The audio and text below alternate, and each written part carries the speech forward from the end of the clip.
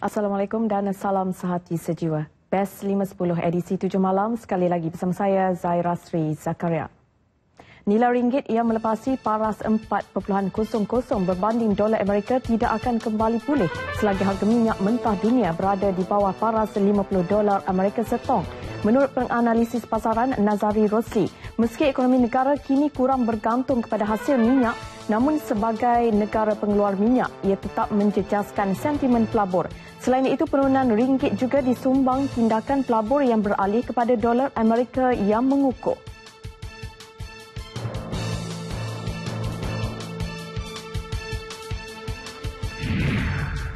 Beberapa serpihan yang ditemui di kawasan tragedi MH17 di timur Ukraine berkemungkinan daripada serpihan sistem peluru berpandu buatan Rusia. Menurut Ketua Pendakwa Raya Belanda, Fred Westerberg, pihaknya akan terus mendapatkan bantuan pakar forensik senjata bagi mengesahkan asal-usul serpihan berkenaan. Antara negara yang terlibat dalam penyiasatan termasuk Belanda, Malaysia, Belgium, Australia dan Ukraine. 64 penerbangan dari tujuh lapangan terbang seluruh negara akan membawa 22,320 jemaah ke Tanah Suci bagi musim haji tahun ini. Satu lagi stesen berlepas baru akan dibuka di lapangan terbang Sultan Ismail Petra di Kota Baru bagi membawa 990 bakal haji terus ke KLIA sebelum ke Tanah Suci. Jelas pengurus besar kanan tabung haji Datuk Said, Said, Said Abdul Rahman 18 syarikat swasta telah diberi lesen untuk mengendalikan pakej haji.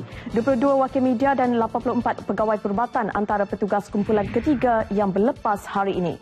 Polis akan melancarkan operasi terhadap pengguna jalan raya yang memandu secara berbahaya, melulu dan terburu-buru sehingga menjadi punca kepada kemalangan maut.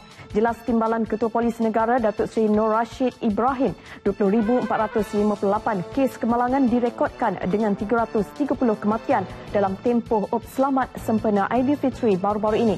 Penunggang dan pembonceng motosikal paling ramai terkorban iaitu 200 kes. 145,066 saman dikeluarkan dengan kebanyakan kesalahan memandu melebihi had laju. Mayat seorang individu tanpa identiti ditemui rentung dalam sebut sebuah kereta yang terbakar di Taman Bukit Rawang Jaya, Rawang, Selangor. Jelas penolong pengarah operasi Bomba Negeri, Sani Harul berkata pihaknya menerima panggilan kira-kira pukul 6.38 pagi tadi.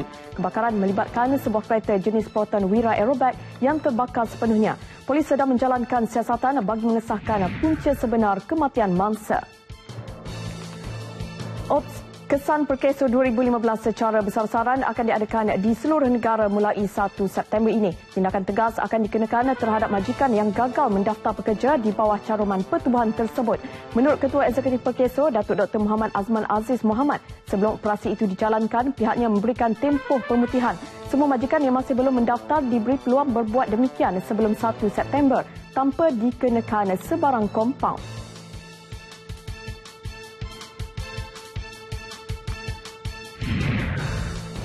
AirAsia Berhad hari ini mengumumkan pelantikan pemenang anugerah Grammy 16 kali David Foster sebagai Duta Jenama Global Baharu bagi rangkaian produk premiumnya. Ketua Pegawai Eksekutif Kumpulan Tan Sri Tony Fernandez yakin Foster sebagai imej jenama global dapat menarik lebih ramai pelanggan dalam sektor korporat dan muzik.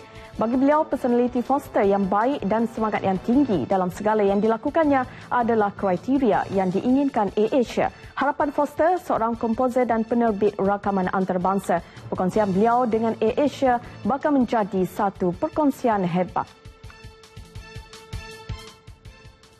Baik saudara, untuk lebih banyak paparan, kita bersama Fatil Hidayat Ghazali dan Nur Syikin Abdul Rahman dalam Nasional 8 malam nanti. Dan saya Zaira Sri Zakaria. Assalamualaikum dan salam sehati sejiwa.